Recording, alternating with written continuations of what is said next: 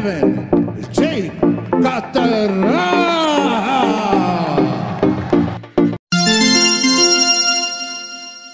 Hello guys, magandang hapon. Ah, dito ako ngayon sa San Isidro Lagao, San Man Gym, General Santos. So, to guys, ah, kakatapos na ng training namin. Ayan, medyo pumayat na ako kasi 3 days na lang. Uh, na. Medyo payat na yung mukha natin. And laki ng binawas na timbang ko. Pero as of now, yung condition naman natin maganda naman. So ito nga guys, ito yung gym nila. And ito yung I, I mean doon yung gym nila.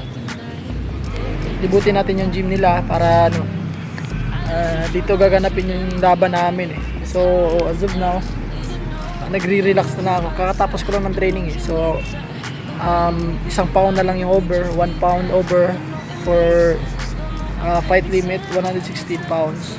So now, 170 na ako ngayon. So, yun. Condition naman so far yung condition natin. Ang ganda naman.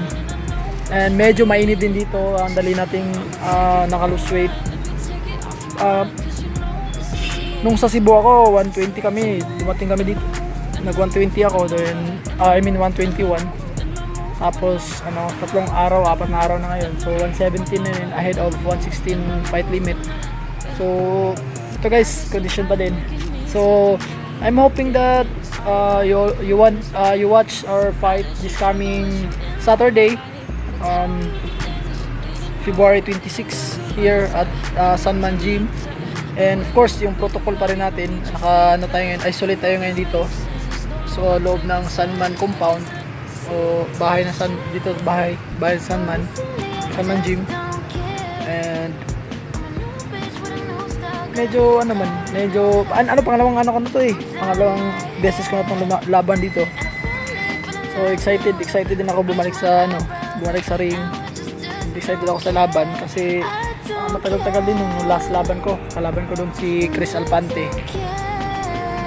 Um, after that fight uh, laki ng in-increase ng weight ko noon. So, sa ngayon, medyo uh, payat-payat na tayo, guys. And medyo maluwang na yung t-shirt ko. Maluwag na, maluwag na. Uh, of course, yung condition natin, marami, nagpapasalamat ako sa trainer ko kasi um, inasikaso niya yung ano ko, yung yung weight ko, nakafocus kami sa weight na nami-maintain namin weight sa training.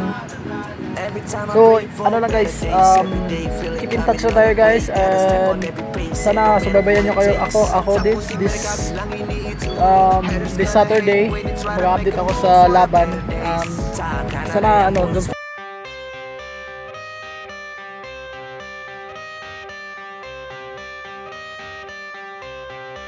I got the cash in the bag, stadium packed. Born a rock star in this life, gonna live it up on the attack